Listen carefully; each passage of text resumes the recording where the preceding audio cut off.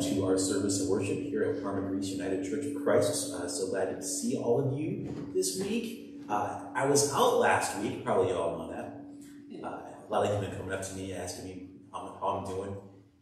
Lower back spasms are not a lot of fun. Uh, but luckily, I, well, let's see. No, no spasms right this moment, so I'll keep you posted. St. Patrick's Day today. You guys have plans for, for celebrating? Does anybody have any weird St. Patrick's Day traditions? No, does anybody do uh, corned beef, or is that? It's been done. It's been, it's been done. Yeah. Uh, how about how about whiskey? Anybody? Jameson. Jameson? Oh yeah. So was that was that you, Mike? Raised your hand. I have a shot for you later. Okay. All right, sir. All right. So with all that in mind, we're here, and we're ready to worship the Lord together. Uh, I invite you, as we get into worship now, to take this moment to center yourself, to be fully present, and to be ready to receive what the Lord has for us this morning.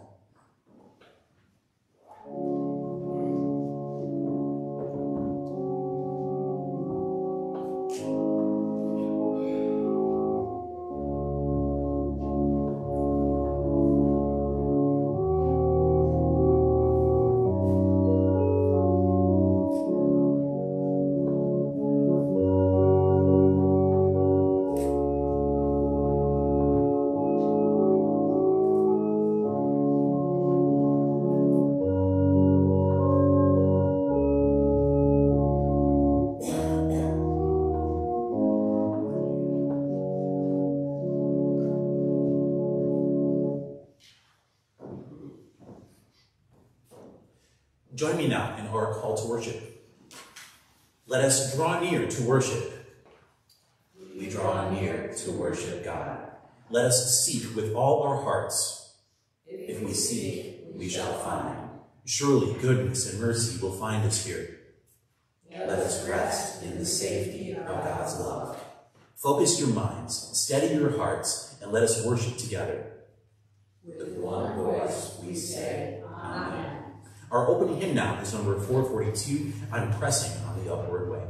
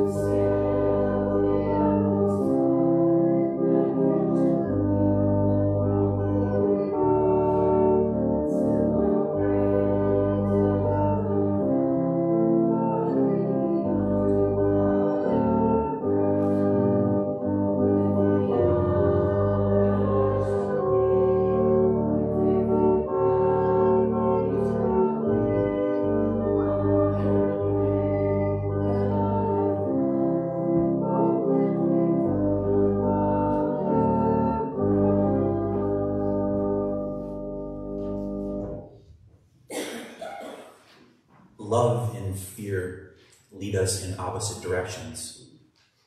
Are we torn between them? Are we making choices that nourish our souls or our bodies? For what do we truly hunger? Righteousness or material security?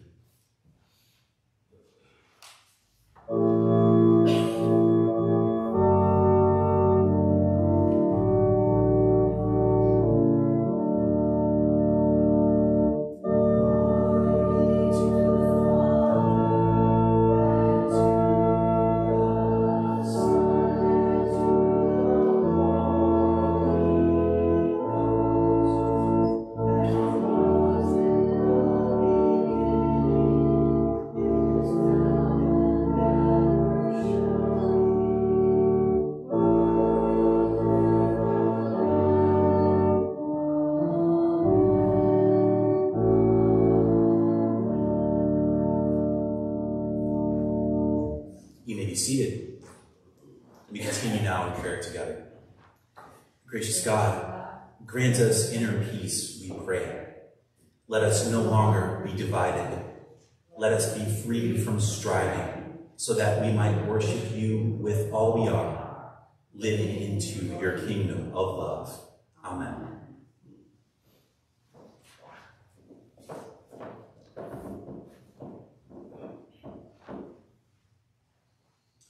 This morning's Hebrew lesson comes from Jeremiah chapter 29, verses 12 and 13.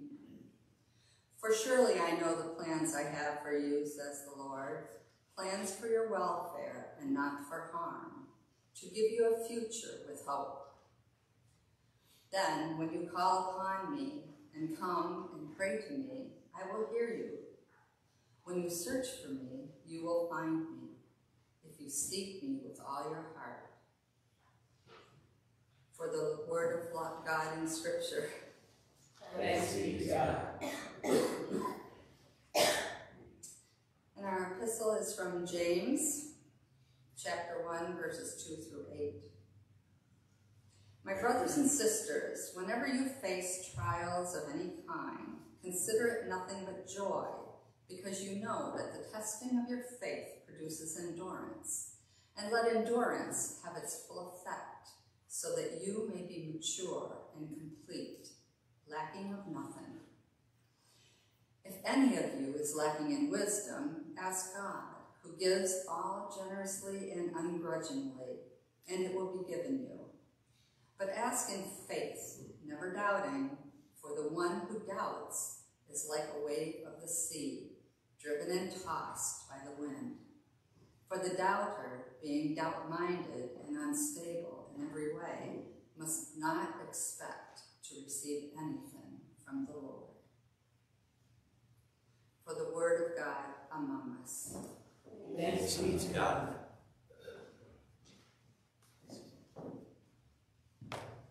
A reading now from the Gospel. A reading from the Gospel according to Matthew chapter 6 and verses 25 through 34. Therefore I tell you, do not worry about your life, what you will eat or what you will drink, or about your body, what you will wear. Is not life more than food, and the body more than clothing? Look at the birds of the air. They neither sow nor reap nor gather into barns, and yet your heavenly Father feeds them. Are you not of more value than they?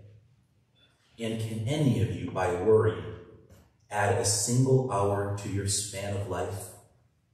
And why do you worry about clothing? Consider the lilies of the field, how they grow. They neither toil nor spin, yet I tell you, even Solomon, in all his glory, was not clothed like one of these. But if God so clothes the grass of the field, which is alive today and tomorrow is thrown into the oven, will God not much more clothe you, O you of little faith? Therefore, don't worry, saying, What will we eat, or what will we drink, or what will we wear? For it is the Gentiles who strive for all these things. And indeed, your heavenly Father knows that you need all these things. But strive first for the kingdom of God and its righteousness, and all these things will be given to you as well. So don't worry about tomorrow, for tomorrow will worry about itself. Today's trouble is enough for today. For the word of God within us. Praise to you, Lord Christ. Well, throughout the uh, season of Lent here, I've been taking you through the Sermon on the Mount. And uh, we've been talking a lot about this difference that the, the sermon makes between the way of the world and the way of Christ. That's, that seems to be at the center, this, this contrast of, of every sermon, or that, that I've had to do, and of course of the Sermon on the Mount as a whole. Uh, and we, uh, let's see, it was two weeks ago now, came to the very center of the Sermon on the Mount, which was to say, can't serve two masters. Okay? So what we can do then is we can begin to understand that that's sort of the lens that we need to see everything else that's being said in the Sermon on the Mount through. So when we're keeping in mind the idea that we don't want to serve two masters, that we want to love the Lord and love the kingdom of God and love the righteousness of God and reject and despise the others, which is what the scripture says to do, then that brings into focus for us a different way of being. Right? That's that's the way of Christ that we've been talking in this message, I want to bring it intensely personal. Right? We can talk about you know the the way of Christ versus the way of the world in terms of, of a lot of you know macrocosmic kind of things, big things, you know, life decisions. But I want to bring it much smaller than that today. I want to bring it so close to home that it's maybe going to be very uncomfortable. And yet, if we're really going to do what the sermon says and develop within ourselves the capacity to serve only one master and no longer be divided, then it's sort of, it's this sort of discomfort that's necessary. So with that, everything that registers as a happening in our minds, so, so everything that comes in, whether it's a thought or a feeling, a reaction, a, a, a habitual action, or, or a conscious choice, everything comes with a story that's attached to it. Uh, we tell ourselves stories subconsciously, uh, stories about what a thing means, about what significance it bears, uh, about what information is revealed by it. We're always parsing. It's kind of how we function, right? So for today's message, what I want to do is, is talk about this one thing as it relates to this whole idea of being single-minded in your devotion to Christ, and that is stop the story stream. Now, we haven't talked at length much about the struggle between the ego and the authentic self. Uh, that's something that, that I talk about a lot to myself um, in my own personal development, but it's not something I've brought a ton into the pulpit because it's, it's difficult to, to define and to understand. Um, ego is one of those terms that gets thrown around a lot, so I think if we're going to talk about this, that I really need to define it, so, so I will. So when I refer to ego, what I'm referring to is that construction of self that emerges as a result of conditioning. It's the quote unquote you that pops out the other end after the world has had its go. It's perhaps a stream of consciousness that is made up mostly of stories that were learned at some point, sometimes in a good way, sometimes in a bad way. Uh, but these stories, these conditions, they, they play on repeat. These are stories that, that form in you due to the influence of, of parents, peers, strangers, core memories, including traumatic ones. You know, it's both the good lessons and the lessons that we might prefer to forget. Now, what, what occurs is that during your formative years, your subconscious takes all that in and it processes it over the course of a decade or more. And it constructs a psyche.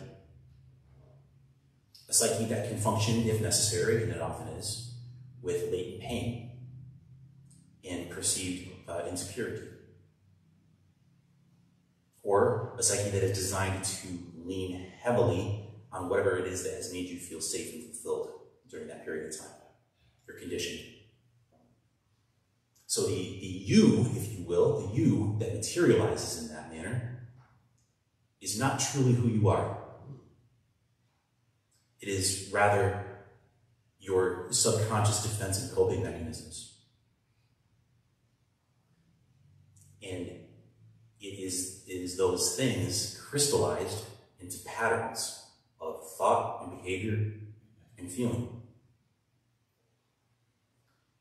But it, feels like you, but it isn't.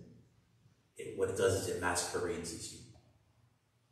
It's a false self, it's a construction. And it'll go on masquerading as you for the remainder of your life unless you intervene. Now, from where I'm sitting, becoming aware of that, awakening, if you will, to the influence of the ego, is equivalent to spiritual awakening. Because once you begin to perceive the difference between the light that you are just reflecting, that bounces off you and back out into the world, versus that light that emanates from your own soul, and you see that they're actually different colors, there's no going back. Now, in my own awakening, in struggle with ego, if you will, uh, I've learned something key that I want to share with you today. That's this the authentic self, that is the you that you choose to be, the you that emerges as it is freed from unconscious conditions and patterns. The authentic you does not tell itself stories. These, these conditions, these, these recordings that, that play on, on repeat, the patterns of behavior and thought and feeling that, that play out as a result. The authentic self produces none of those. That's all the ego is doing. The authentic self accepts what is without the need to create a narrative about it. It's able to do that simply because it knows it is secure. It's not motivated by fear. I'll give you an example. So say, you know what, let's let's go here. We're gonna go here today. Say you're driving. I don't know if there's any place in my life that my ego is stronger than when I'm behind the wheel of a car. Anybody uh, maybe identify with that just by show of hands? I'm up here doing it like in front of you in person, so you can raise your hand. Okay, just me and Susan apparently, and Joanne. Uh, Everybody else is, is not like no no word rage at all. Uh, okay, so i am just gonna go out on limb. So say you're driving and, uh, and somebody cuts you off in traffic. We've all been there. Annoying? Yeah. Dangerous? Also, yeah. Personal? No. So here's me going out on the limb and admitting a flaw. Now I have to be honest and tell you that in the past, when I have been cut off in traffic, a story ran in my mind, a story I told myself in many situations like that one over many years. And I experienced that story uh, as a reaction, an emotion, less so verbally. It took some took a long time for me to finally see it and be able to put it into words. But when I was able to put it into words, here's what it sounds like. The other driver is laughing at you. He cut you off, and now he's feeling that he's won a victory over a loser. Ooh, I was talking to myself like that. No wonder I got so angry. My ego perceived being cut off in traffic as a personal slight. Now, this story that I was telling myself has no basis in reality. It's not true. Feelings are not facts. It has no connection to the present moment. It was conditioned in me long ago. And there it was, playing out again and again again and again. And it, it would have kept playing out for the rest of my life had I not stepped in the middle and hit that stop button on that tape that would play. Every time that I felt like something could be personal, I made it out to be personal. I wondered for years why I had such a difficult time controlling my anger when I was driving. And I experienced such conflict over it. I couldn't understand. Like I'm making all this progress spiritually, and yet I put me behind the wheel and I'm just yelling at people. Like, what is it? But it wasn't until I began to search through the anger and observe it as a third party. Yes, I was feeling it, but I began to understand that it wasn't really me. I began to see this somehow foreign to me.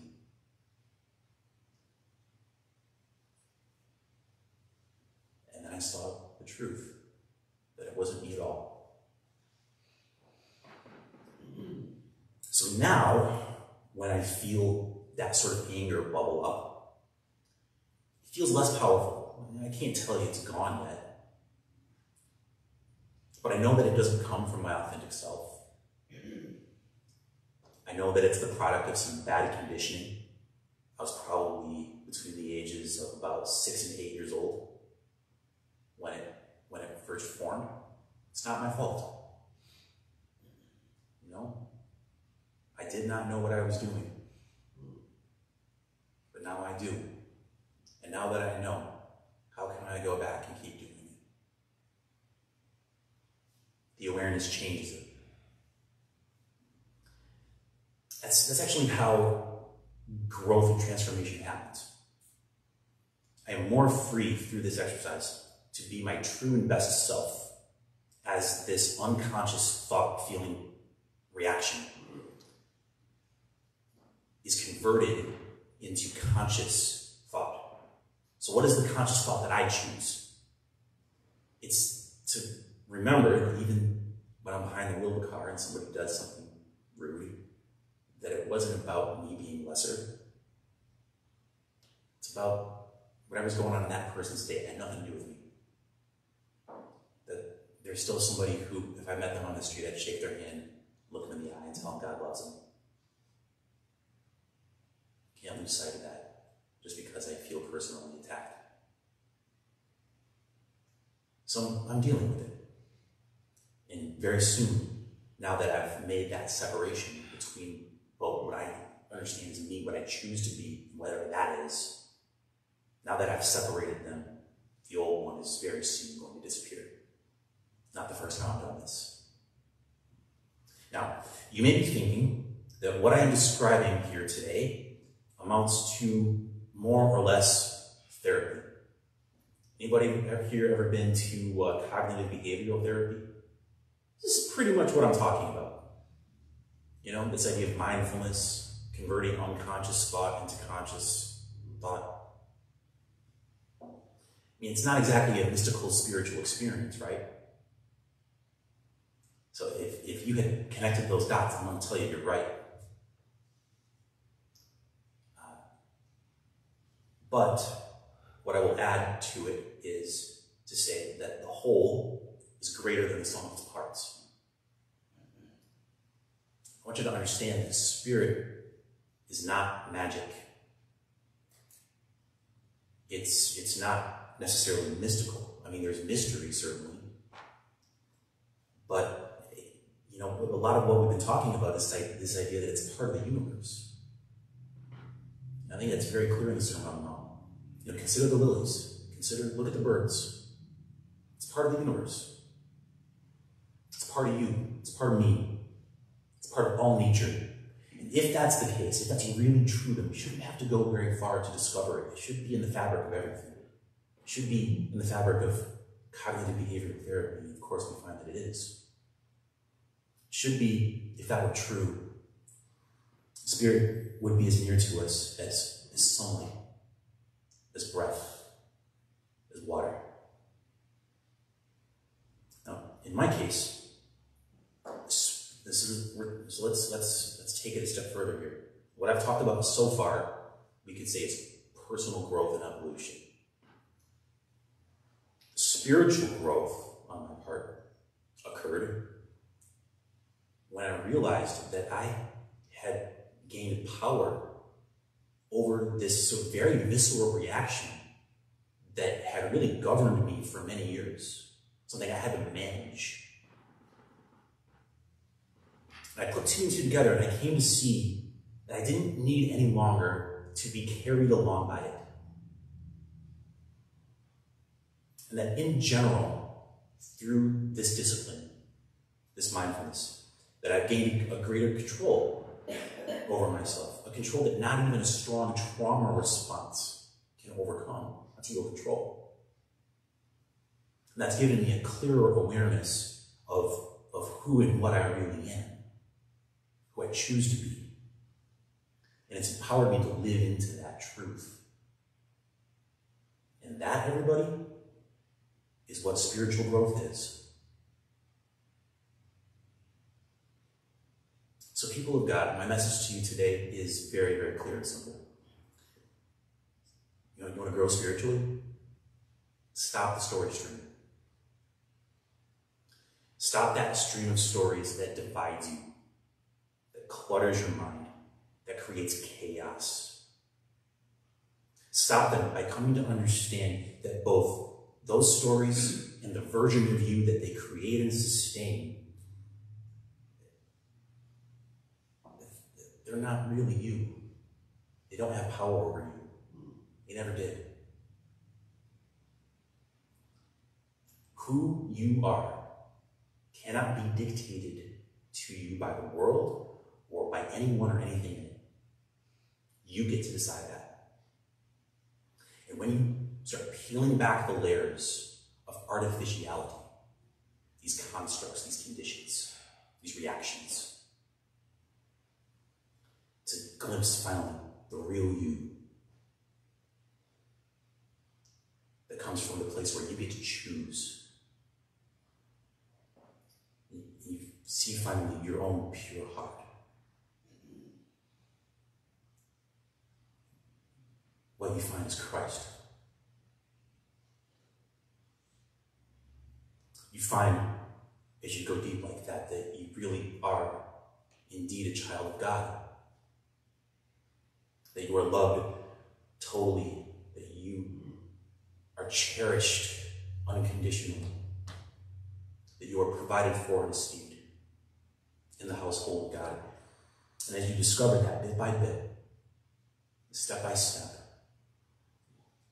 you learn how to say goodbye to all those old worries. That's what I was doing. I was out there worrying on the road. It took the form of anger. Say goodbye to it.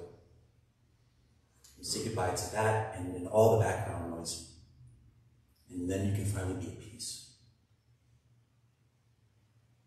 Having been empowered thereby to seek first, and as we read from the prophet Jeremiah, seek only the kingdom of God. Amen. And thanks be to God. Our homily hymn now is number 444. We are often tossed and driven.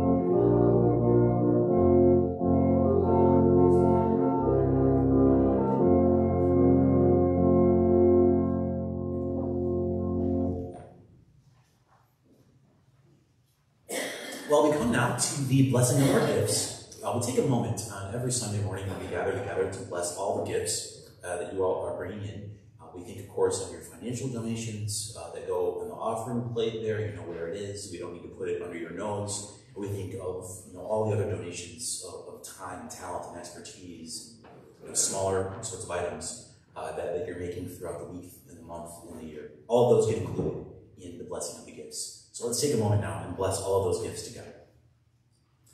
We seek your kingdom and your righteousness, O God. Let these gifts demonstrate our single minded devotion and trust in you. Receive our gifts, O God, and bless them, we pray. May they speed the coming of your kingdom in our community. Amen.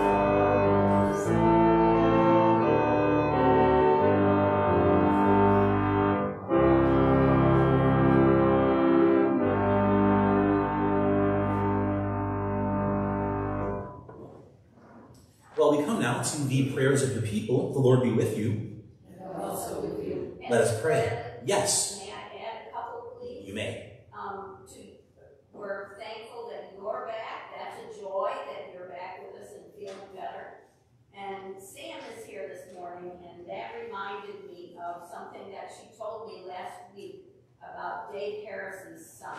And I wonder if you would share that with the congregation, Sam. Well, um, you. Jacob, um, sorry, um, had reached out to me through Facebook Messenger saying that he was in a rehab in Pennsylvania and he has a month clean and he's doing well. And I said, well, you know, there's still people that do love you. He said, well, thank you for saying that. And, you know, I said, I'm always here. You can always reach out. So, that's pretty much. Wow, that's amazing news. Yeah. I mean, just by a show of hands, how, how many here have been around addiction one way or another? Like almost everybody. You know that how difficult it is for somebody to get clean, stay clean. A month, that's that's incredible. No matter what the substance was, I, I mean, it's very difficult to do. Um, so we, we share in that joy. And while we're at it here, um, let's let's add prayers. Uh, they're, they're sorely needed for, for Jacob. Uh, that, uh, that by grace that he would find within himself the ability to stay the course. In your mercy, O Lord, hear our prayer. Uh, but I do want to acknowledge the, the, the joys before we go on. I'm back! I love being back. This is great. Uh, and Sam, so glad that you're here. Uh, joy for Logan's birthday. Put that. Put that. Yes. Logan is our latest, um, grandson-in-law. Latest we have not yet met, but today is his birthday. Was he born? No. He's married to our youngest granddaughter. Okay, so not exactly. Yeah. That's funny. Okay, so we do share in your joy for, for Logan's birthday. Now, hopefully we'll meet him one day. Ideally. When you hadn't met him, I figured he had to be really young. All right. And then uh, we already mentioned St. Patrick's Day. There's a parade, a joyful parade. What's that? Parade was, was yesterday? Makes sense. All right, we're going to get past the joys. I'm butchering these.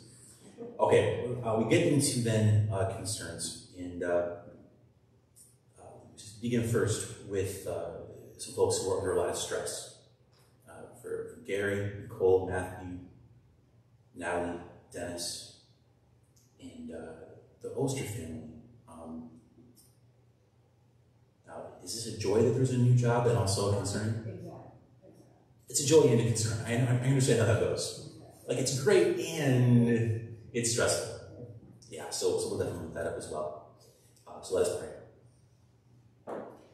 Precious God, uh, we lift up to you these folks who we've mentioned. And while we're at it, we, we add to that list folks that we're thinking of right now who are also under a lot of stress and could use a dose of that inner peace that we're talking about today. We, we pray that by grace, that you would supply them with that peace that passes understanding, and that you would be with them in a very special way that reminds them, that makes them more aware that they are greater than they think that they are, that they can do more than they perhaps believe that they can do. Empower them, we pray, to take the control that they want to take of the, themselves and their lives. By grace we pray. In your mercy, Lord.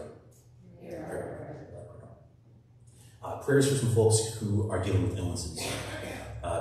Pete, who is dealing with a cancer diagnosis. Uh, Ramona, who is in dialysis.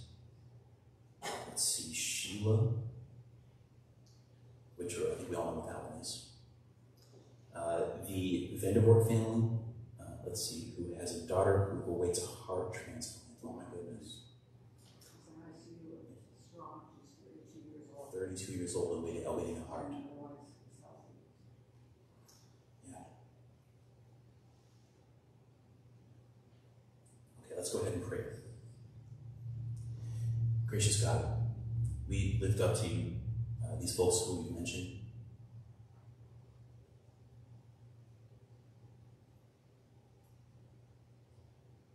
And sometimes I, I try to think of a cute prayer to pray, but this one's really simple. Lord, we just ask that you bring these people to health. Don't often understand why that can't happen. Certainly in these cases, that's not any different. But for Pete, just we ask that that cancer would be brought to remission. And for Ramona, we ask that there would be a solution found so that she doesn't have to be in dialysis of her life. And for Sheila, that she would recover just as fast as she can, that you would grant her peace in her in her mind, in her heart, and her body. And for the Vanderwerp family and, and their daughter, that you would provide her with a heart and grant her a life. In your mercy, O Lord. Uh, for the family and friends of, uh, let's, see, let's say Joe H. Um, Hannah, who, passed away. Let us pray. Gracious God, we, we lift up to you everyone who's grieving that loss today and, others. Uh, and, we ask in their grief, everybody grieves differently, but that in their grief, that they would continue to seek you. Let them not be overcome or swallowed by it, but by grace, grant them the ability to reach out and to find the light again. Grant them comfort, we pray. In your mercy, O Lord. Hear our prayer.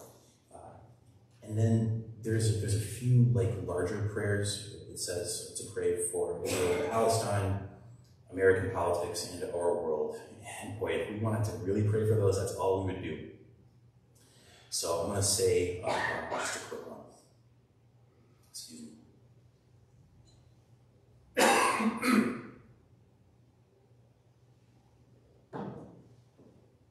Let us pray. Gracious God, when, when we come to you with large prayers, we often feel very small. And, and rightly so. These, these things are much bigger than we have any ability to influence. But not you. You are, you are greater than they. Your arm is not too short, short nor, nor your voice too weak. You are able to bring peace. You are able to bring stability. And we simply pray that as you are doing that, that you would continue to do it even more. Your kingdom is coming. Your will is in the process of being done. It is being worked out with fear and trembling.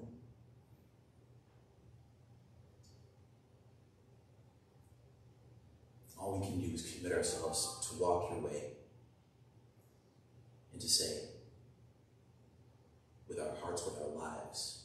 Your kingdom come, your will be done. May it be so according to what we pray. In your mercy, O Lord. Hear our prayer. And now we pray together with the words our Savior taught. Our Father, which art in heaven, hallowed be thy name. Thy kingdom come, thy will be done, on earth as it is in heaven. Give us this day our daily bread, and forgive us our debts as we forgive our debtors. And lead us not into temptation, but deliver us from evil. For thine is the kingdom, the power, and the glory forever. Amen. Our closing hymn now is number 438. Uh, this, is a, this is one of those ones that we all know, should be able to sing it. It is well with my soul.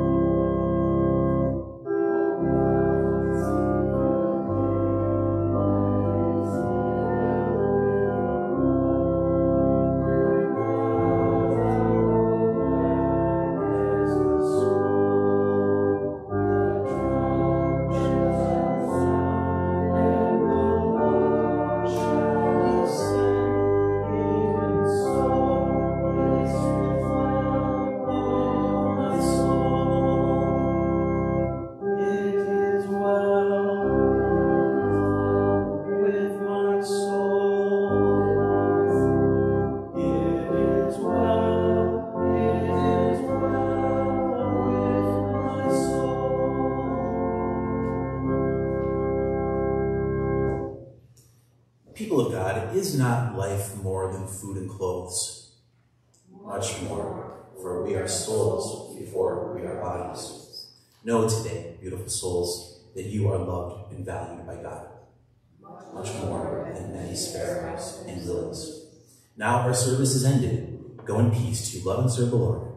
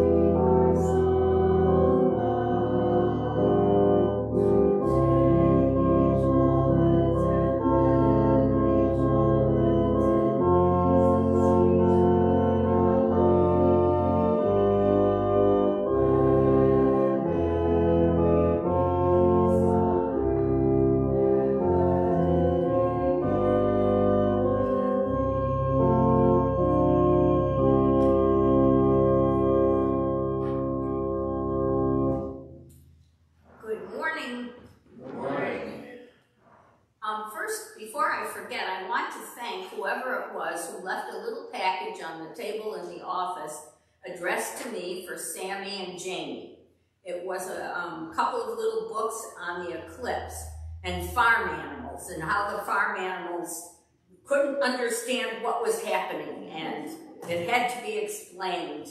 They thought that something was eating the sun. So they were really sweet and cute and I thank you whoever brought those. We read them yesterday when everybody was around. Um, flowers. Who brought the flowers and who are they for? Pamela. I brought. It's um my daughter's birthday on Tuesday. Happy birthday. Why, thank you. I will pass that along. They're very lovely. Yes. Thank you again. Um, activities, oh, special offerings, one great hour of sharing. Uh, if you have not handed that in, there's still time to do that. Um, and our calendar tomorrow is book club at two o'clock here in the music room, I think that's. That's usually where we Yeah. meet, yes. So Mike, be sure we have some heat at two o'clock in the afternoon. Okay. Thank you. Um, and Lauren sent out a letter that we all should have gotten this week that was asking for cost-cutting ideas to sort of try to readjust our budget a bit to meet what we might be able to, to spend. Um, so get back to Lauren. I found it very difficult to come up with ideas, Dick and I. Um, but I have a couple, so um, we'll be talking about that more as we have um, a council meeting, etc. Um, Tuesday are uh, Pastor Bradley's office hours, and he will be here from 10 to noon, I think. And Wednesday is, is this the last Lenten lunch? Yes. Okay, and that's at St. Leo's at 12 o'clock. And food shelf needs, um, they're listed in your bulletin. The Hilton food shelf really needs toilet tissue. Now, Got it? Do you have enough? Do you have enough? Oh, I think you said got it, like, oh, got enough, enough, oh, no. no, Sam, Sam's got a supply that Oh, she's I see, gonna okay. bring. That's all right. It's, it's a funny thing, you think of the food shelf and you never think of something like toilet tissue. But people need toilet tissue and it costs money, so it needs to be included. And the Greece food shelf needs some, needs cereal, so if you, if we put that in the baskets out there, does it get to the Greece food shelf? Okay, thank you. All right, that's all I have. Any other announcements or comments? Now, are we, are the choir people, choir people meeting with Joanne Yes, immediately? yes. Okay. And everybody else can go back and have something to eat. So have a great week. Two.